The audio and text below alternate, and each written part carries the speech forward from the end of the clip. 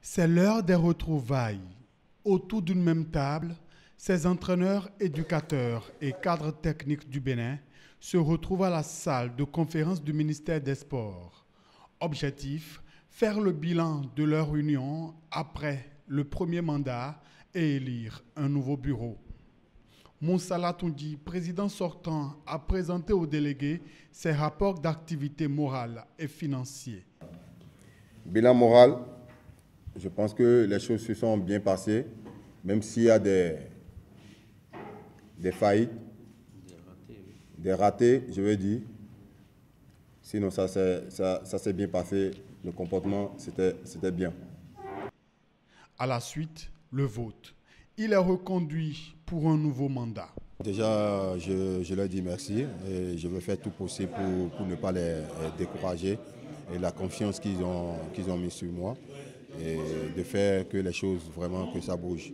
Et l'objectif déjà, c'est qu'il faut que les entraîneurs béninois, qu'on se mette tous ensemble et parce que c'est ensemble qu'on est plus fort. Le président réélu veut mettre l'accent sur le respect du métier d'entraîneur.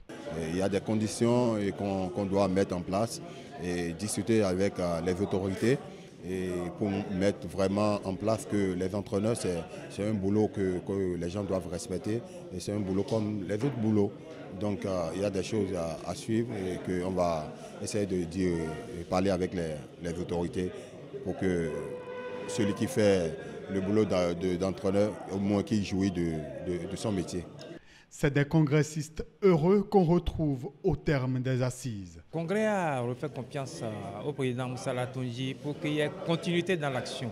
Continuité dans l'action dans ce sens que, ensemble, nous sommes unis et nous serons plus forts.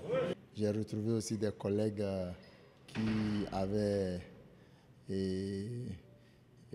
qui vraiment tenaient trop au développement du football béninois, ce qui est aujourd'hui une préoccupation pour nous autres qui sommes les entraîneurs.